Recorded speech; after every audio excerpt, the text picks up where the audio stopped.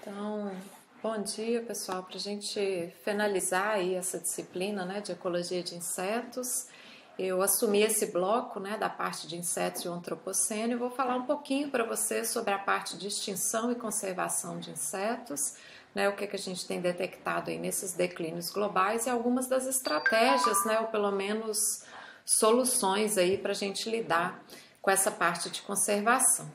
Então, essa noção né, da importância dos insetos e essa noção do declínio dos insetos, essa ideia da extinção, ela não é recente na literatura ecológica, apesar de que nos últimos anos, né, principalmente 2019 para frente, a gente tem visto assim uma infinidade de artigos lidando com esse tema, mas eu fiz questão de trazer um mais antigo aqui. Isso aqui é um artigo do Wilson, né, que é bastante influente aí trabalha né, com as formigas aí, tem vários artigos nessa parte de conservação, e esse aqui particularmente ele fala são as pequenas coisas que governam o mundo, né? Então a importância e conservação, a importância e a conservação aí dos invertebrados, tá? Então esse trabalho já é bem antigo aí, mas foi uma das primeiras referências, né, para tentar incluir os insetos na lista de espécies ameaçadas, né, começando aí pela IUCN, e com as razões que vocês já viram durante essa disciplina, né, devido à importância dos insetos aí para manutenção de processos e funções ecossistêmicas e serviços, o fato de que reservas, por exemplo, para conservação de invertebrados, incluindo insetos, são relativamente mais baratas, né, e assim como os custos de manutenção. Então a ideia é que a gente possa incluí-los, né, nesses planos de conservação e manejo e criação aí de áreas de reserva.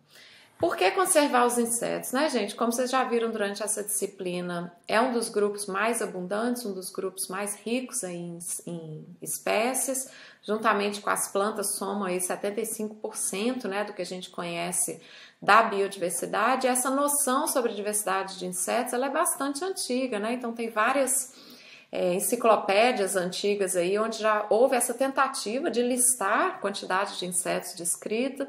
Então, lá em 1758, a gente já tinha, né, na primeira enciclopédia, algo em torno de 2 mil, 2 mil espécies de insetos, e hoje né, a gente gira em torno desse número de um milhão de espécies descritas, como vocês já viram aqui na disciplina. Esses insetos já foram usados também para estimar a biodiversidade global, né? Então tem um trabalho famoso do Terry Irving aí, que é bastante criticado também, né, da década de 80, mas que foi uma das primeiras tentativas, né, de usar tanto o número de espécies de insetos, né, ele trabalhou com besouros, e a especificidade da dieta desses insetos em florestas tropicais para estimar quantas espécies a gente teria, tá? Então ele trabalhou com essa espécie de planta aqui na Costa Rica, que é a Loerreia, focou especificamente aí nos besouros.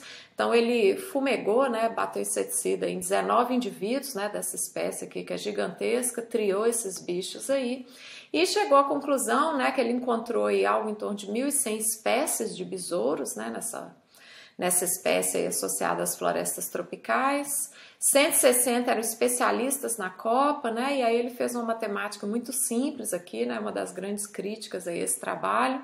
Se os besouros representam 2 quintos dos insetos e ele tinha 160 espécies, né? Que eram especialistas de Copa, daria 400 espécies de inseto especialistas na Copa só da Luerreia. Dois terços eram insetos de copa, um terço inseto de solo, então ele somou mais 200 aqui e teria algo em torno de 600 espécies de insetos especialistas, né, ou exclusivos aí dessa espécie de planta. E aí fez uma matemática mais simples ainda, né, gente? Se tem 50 mil espécies de plantas tropicais e todo mundo tiver 600 especialistas, igual ele fez para os besouros, dava 30 milhões de espécies de insetos. Esse trabalho foi publicado numa revista pequenininha, né, uma estimativa, claro, passível de, de crítica aí, mas ela serviu né, para a gente observar o potencial dos insetos em superar a biodiversidade dos outros taxa, como que a gente já viu, e o nosso pequeno conhecimento sobre a biodiversidade, como a gente já conversou nessa disciplina também. Né? A grande maioria dos taxonomistas estão na região temperada e a maior diversidade está na região tropical. A gente tem muito mais taxonomista para vertebrado do que para invertebrado e é um grupo que não tem muita reposição, né? Então, quando a gente tem a perda de alguns especialistas, aí, especialistas em besouros, especialistas em borboletas, em formigas, como não tem treinamento, né, formação de recursos humanos, a gente corre o risco de muito em breve não conseguir identificar nessas novas espécies que vão surgindo aí, tá? O reconhecimento das espécies mais antigas. Então, né, alguns trabalhos se seguiram a esse do Erwin para tentar usar os insetos aí para estimar a biodiversidade.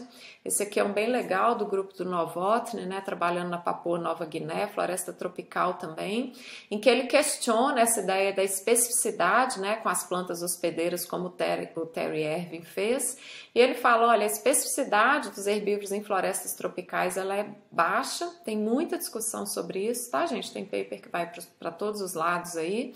Mas o que eles viram para Papua Nova Guiné é que a maioria das espécies eram ou polífagas, né, ou é, mais generalistas, então não dava para fazer né, aquela matemática simples de multiplicar o número de plantas pelo número de especialistas, mas isso aqui é a estimativa do Terry Ervin, né, algo em torno de 30 milhões de espécies, e aqui é a estimativa deles, está algo em torno de 4 milhões e 900 mil espécies, né, um número aí bastante menor.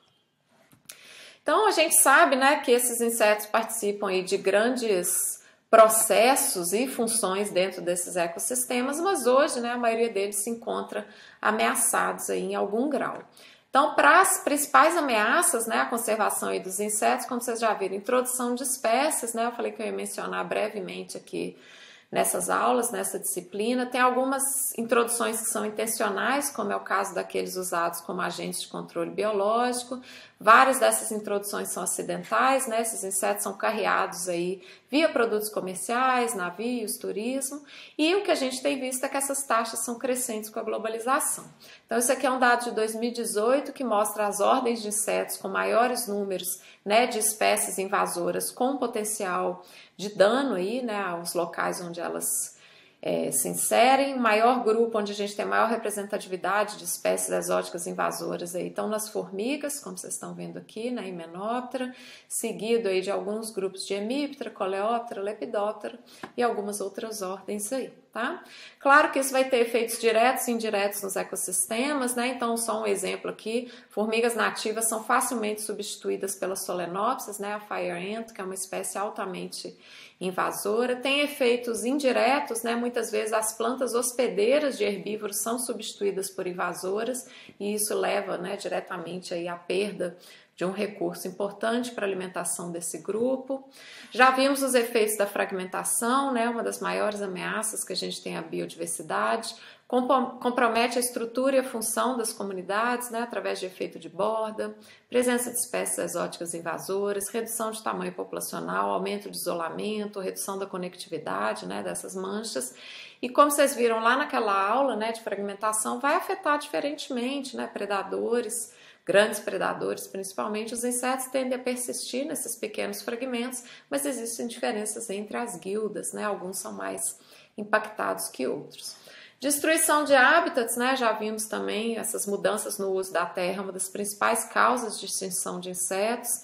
A maior parte da biodiversidade está nas florestas tropicais e é onde a gente tem menos estudos, né? Focando nos insetos aí, com exceção de alguns poucos grupos, para entender como que essa perda de hábitats vai impactar né, essa riqueza e diversidade desses artrópodes e, como vocês viram, também mudanças climáticas. Né? Esses insetos são profundamente afetados por mudanças mesmo que sutis no clima, a gente tem diferenças na distribuição, na amplitude da distribuição desses insetos, diferenças nas plantas hospedeiras, né? Então, mudanças na química, mudanças na morfologia, na área de ocorrência, que vão impactar diretamente e indiretamente esses insetos.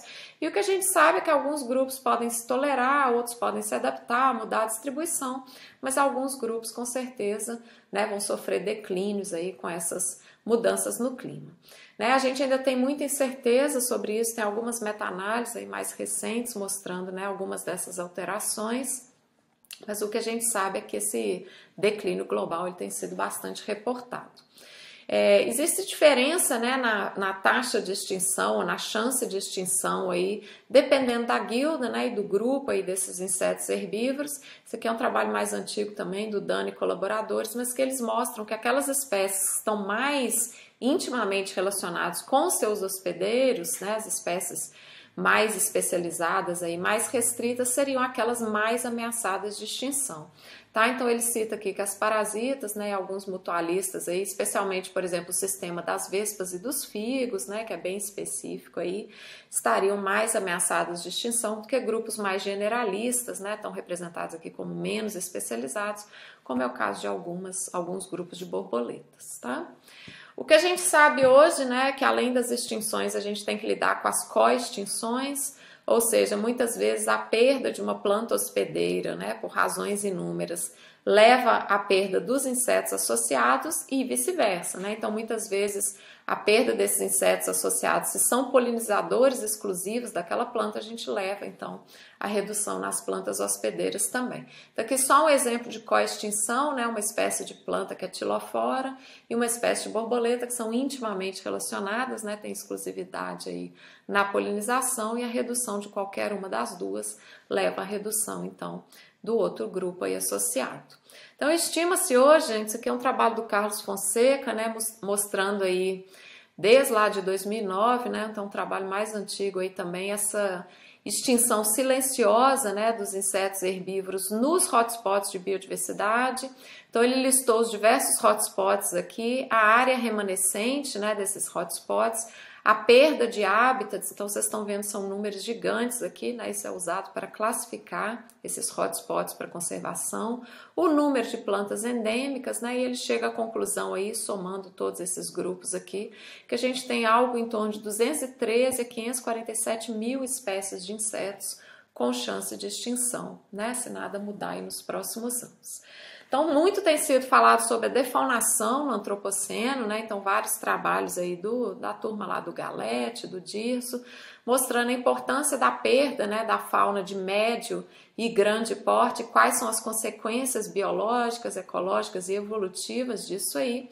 E os insetos, né, gente, eles não entram aí nesse grupo da defaunação devido ao porte menor, mas a gente sabe, né, a importância enorme deles aí para diversos desses serviços ecossistêmicos.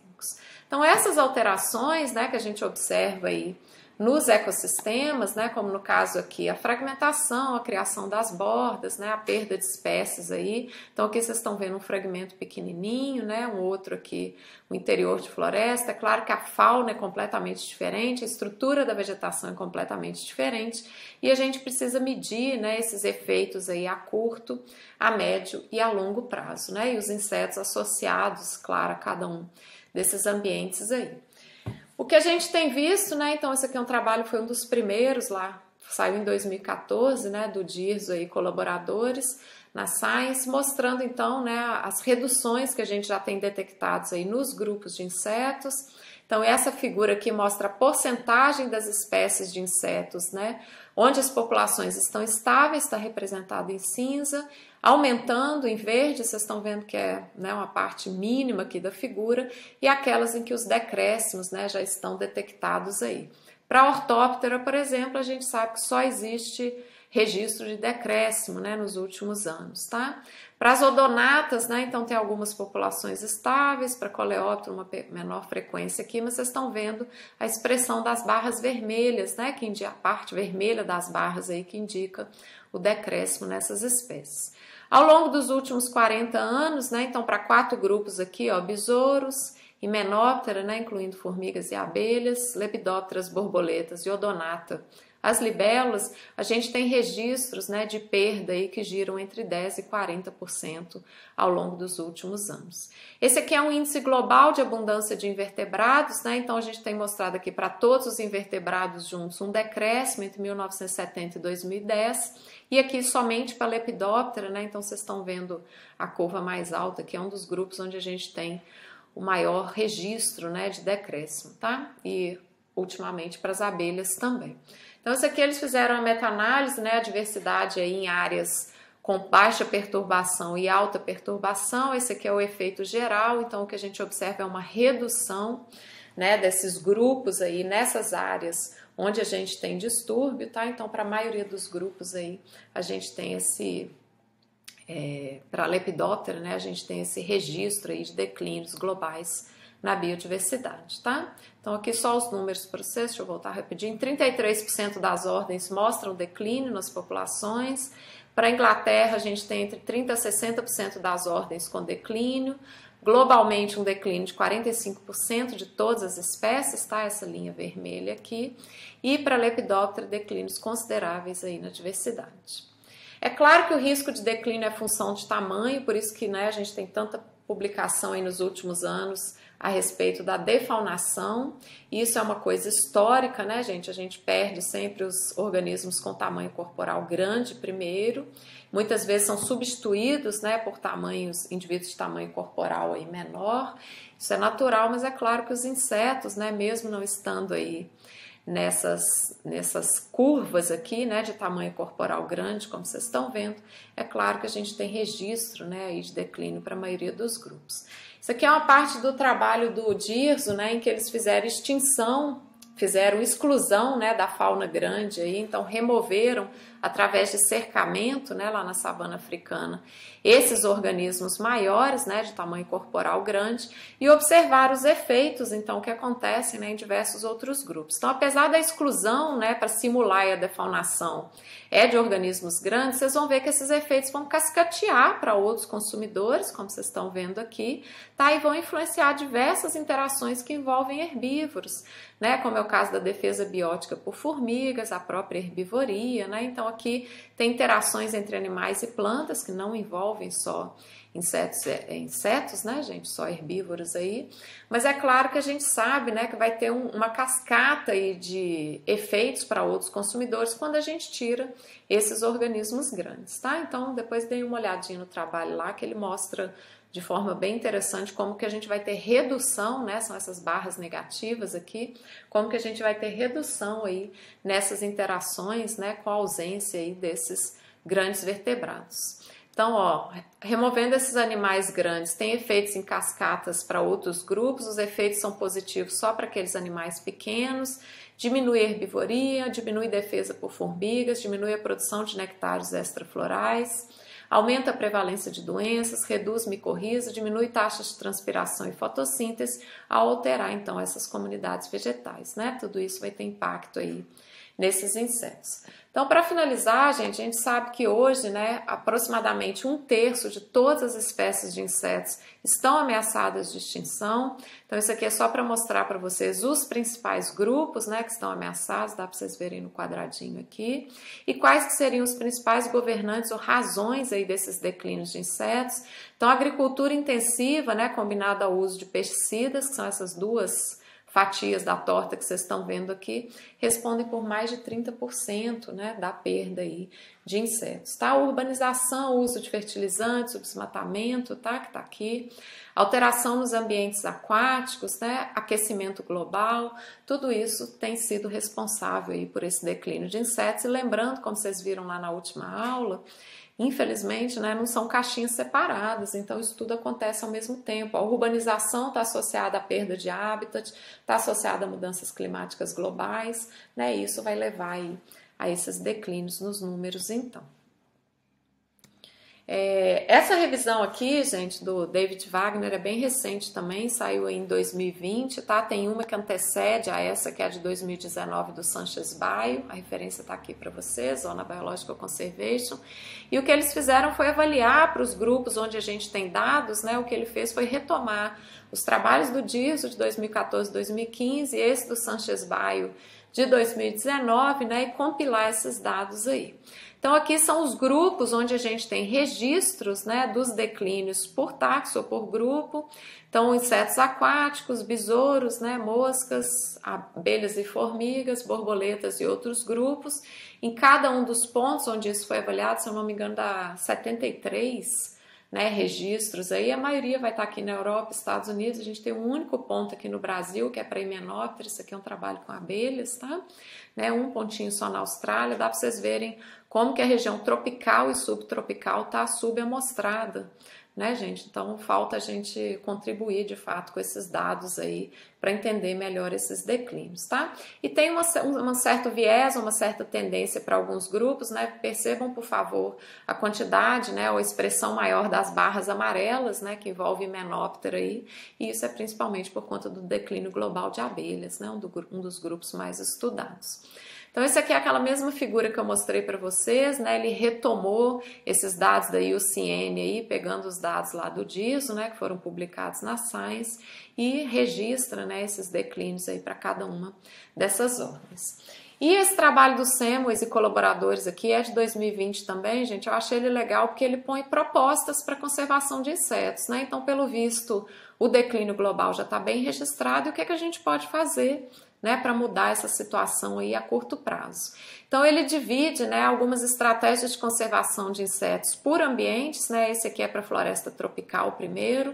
Então é interessante, né, e talvez essencial manter ambientes de floresta primária intacta, né, para garantir essas interações aí que já existem nessas áreas protegidas. A presença de corredores, né, para garantir a movimentação desses insetos aí, a dinâmica de metapopulações e metacomunidades. Vários grupos estão associados, gente, a recursos muito específicos, como é o caso de madeira morta, né? Então, coloquei os cerambicídios aqui, ó, um grupo de besouros, né, que está muito associado a essa ideia, né, esse recurso aí da, da, da, madeira morta. Então, é essencial manter isso, né, nos ecossistemas. Em alguns casos, né, trabalhar aí com desenvolvimento sustentável, agroecologia, né, ou seja, ou seja, a gente trabalhar com a exploração desses recursos, mas mantendo esses fragmentos né, de floresta aí. Plantações que são insect friendly, né, que eles chamam aqui, no nosso caso, pinheiro, por exemplo, não é. Né, tem uma diversidade, eucalipto também não é, tem uma diversidade baixíssima de insetos associados, né, mesmo com o porte florestal. E né, o que eles falam aqui, remoção, por exemplo, da vegetação exótica, manejo de fogo, né, gente? Isso aqui tem que ser muito importante. As florestas tropicais não estão adaptadas, né? Não tem vegetação adaptada ao fogo. Então tem vários trabalhos mostrando né, esse efeito da savanização quando a gente coloca fogo aí nessas florestas tropicais e manter né, esses processos aí de regeneração ativa e passiva dessas florestas, né? Então, isso garantiria, por exemplo, o restabelecimento das interações. Para as florestas temperadas, né, existe um pouco de diferença aí no que, que pode ser feito. Vocês podem imaginar a diferença que existe né, entre isso e isso em termos de biodiversidade. Várias das florestas temperadas, gente, especialmente as florestas de pinos, né, e algumas florestas de carvalho, elas estão associadas a fogo, né? Então o fogo é essencial, o fogo natural, né, claro. Ele é essencial aí para manter, né, algumas dessas desses ambientes florestais. Plantação, né? Lá eles já tem que trabalhar muito com regeneração, já que grande parte da cobertura já foi perdida, mas tem que ser feito com espécies nativas, né? Garantir a colonização, né? Dessas e a regeneração, por exemplo, dos pastos abandonados. Manter então, né, vegetação aí intacta, a presença daqueles troncos, né, essenciais para alguns grupos, especialmente os besouros. É, garantir a complementaridade de recursos, né? Então eles colocam aqui garantir que algumas espécies estão presentes aí, especialmente aquelas né, que têm exclusividade aí na polinização, manter a heterogeneidade de hábitat, atividades de mamíferos, né, essenciais aí para os serviços ecossistêmicos. Mesma coisa para o ambiente aquático, né, gente? Se a gente quiser conservar esses insetos. Então, eles sugerem aqui, né, a utilização de lagos artificiais, reduzir impacto de, né, de barcos ou de embarcações aí nesses lagos, conservar a heterogeneidade topográfica, né? Os, eco, os engenheiros de ecossistemas associados a esses ambientes aquáticos, né? Eles podem garantir a presença né, e a atuação de diversos organismos que são predadores, né, também os macroinvertebrados bentônicos associados à qualidade da água. E hoje, pessoal, a gente precisa, quando fala de conservação, precisa de pensar também né, nos ambientes já alterados. Então, tem formas da gente fazer conservação de insetos, por exemplo, no ambiente urbano. Né? Então, tem muito trabalho, como vocês viram lá na outra aula, sobre urbanização. A ideia desses telhados verdes, né, além de garantirem um conforto térmico, aí, eles estão associados, né, diversas espécies de insetos estão associados. O plantio de árvores né, nas cidades aí, isso tem sido bastante estudado, né? O que plantar, como plantar e como atrair esses insetos, né? A parte da iluminação noturna, tá, gente? Tem sido muito estudada, né? Isso tem mudado os padrões aí, não só de insetos, né? Mas de aves e morcegos também, os padrões de atividade. Então, trabalhar com essa parte verde, né, nas cidades e aquilo que eu comentei rapidinho uma aula com vocês, né, para fazer a conservação de insetos, a gente pode trabalhar muito com a ciência cidadã, né? Então, os cidadãos aí eles podem ajudar no registro, né, de abelhas, borboletas. São grupos mais carismáticos, né, gente? Mas a ideia é que a gente possa incluir todos os grupos aí, tá bom? Então, hoje a gente precisa, né, de trabalhar com essa parte do ambiente urbano também. Tem vários trabalhos, esse aqui está na Urban Planning, né, um trabalho já de 2021, mostrando como que a gente pode fazer associações né, entre o ambiente natural e o ambiente urbano, né, dependendo aí da configuração da paisagem. Então esse cenário aqui, ele é muito mais interessante do que esse cenário aqui, né, onde o ambiente natural ele está completamente afastado do ambiente urbano por conta, por exemplo, de uma área de industrialização. Isso aqui eles colocam para os condomínios, né, quando vai fazer planejamento aí, como que isso aqui é uma situação muito mais ideal, né, comparada a essas outras aqui, onde você consegue colocar em contato, né, áreas que são, por exemplo, agriculturáveis, as áreas de desenvolvimento aqui dos condomínios, mas, por exemplo, um fragmento florestal, né? Como que isso vai trazer bem-estar humano aí e garante aí uma conservação então da biodiversidade. Então, gente, só para finalizar, né, esses aqui são componentes essenciais de como que a gente tem que fazer esse levantamento dos insetos aí para garantir a conservação. Então passa, por exemplo, pelo monitoramento, né, a gente perceber essas mudanças aí na biodiversidade ao longo do tempo, inventariamento, quem são os grupos indicadores, né, que permitem a gente aí entender um pouquinho dessas mudanças na biodiversidade, mapeamento, aquelas verificações, né, em grandes escalas aí, é, tanto a nível de espécies quanto a nível de cobertura espacial né, desses levantamentos, e isso sendo feito tanto pelos profissionais como pelos cidadãos aí, né, que permite essa ideia do levantamento da biodiversidade. E finalmente, né, então essa aqui é a última figura lá desse trabalho do Semmes, em que eles sugerem quais que seriam as soluções, né, para a gente então é, de certa forma, frear essas extinções de insetos. Né? Então, o que, que a gente quer atingir com essa conservação? Né? Então, essa filosofia aí da conservação de insetos, educação ambiental, engajar a sociedade, né? para que a gente consiga aí algumas estratégias de conservação. Tá? Isso passa, por exemplo, pelo redesign, né, como eu mostrei para vocês aí no caso da urbanização, dessas novas paisagens, tem que ter legislação, né, que seja baseada em dados científicos aí, tem que ter um acompanhamento, né, tem que ter investimento em pesquisa. A gente precisa pensar quais são as lacunas do conhecimento e como é que a gente consegue, né, suprir algumas dessas lacunas aí, manejo de áreas protegidas, né, e isso aí vai levar então a uma melhor conservação né, ou pelo menos algumas estratégias melhores de conservação desse grupo e que a gente consiga também mitigar né, alguns desses aspectos aí associados à mudança do clima, tá bom? Então, gente, é, aqui eu encerro né, as aulas desse bloco aí de insetos e o antropoceno, tá? E a gente vai conversar um pouco mais sobre isso aí nos momentos síncronos, tá bom? Obrigada, pessoal.